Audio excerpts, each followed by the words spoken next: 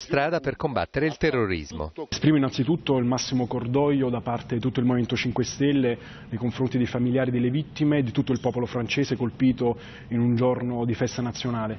Il Movimento 5 Stelle chiede in questo momento un, un serio dibattito, è il momento che la politica si fermi e faccia un serio confronto su quelli che sono i temi della sicurezza e della lotta al terrorismo.